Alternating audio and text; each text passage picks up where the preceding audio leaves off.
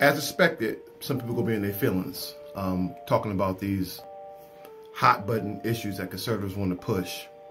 First and foremost, there is no comparing people in positions of power in churches who abuse children to whatever the hell they put out for sale in Target. If you don't want the shit they sell in Target, don't buy it. Right? First and foremost, walk past it.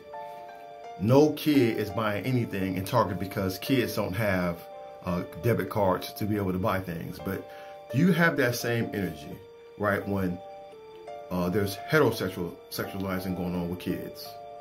I'll let this guy break it down for you. This pastor destroys Pride merchandise at Target. Okay, I'm not here to defend Target, but I do want to talk about what is the definition of pushing an agenda. Now, I don't drink, right? But everywhere I go, in damn near every store, I see liquor, wine, and beer advertisement. Is that pushing an agenda? What if you're a meat eater and you enjoy your meat? As soon as you walk into a restaurant, they let you know, like, hey, we got vegetarian options. Is that pushing an agenda? What if I'm Catholic or Jewish or something, and I don't celebrate Christmas? But I can bet you a bottom dollar, come December, I'm gonna hear Christmas music, see Christmas movies advertised everywhere, Christmas clothes, Christmas parties, discounts, all this stuff, Christmas stores. Is that pushing an agenda? When my son was like one or two, and I used to shop for him in Target or Walmart or wherever, or even when people would bring him shirts, it would always say little player or hide your daughter or lock up your daughter. I'm coming for her. you know some real predator shit. You know, so you can start grooming and advertising your son as that little player heartbreaker that you're gonna teach your daughter to stay away from. And I know what y'all gonna say. We just don't want to force homosexuality on the kids.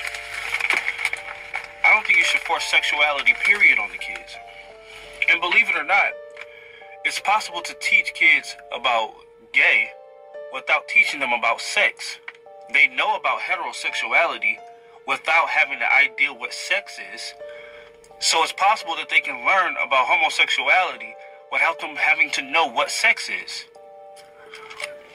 They know a man and a woman can like each other and be together, and they still don't have to know what they do in the fucking bedroom.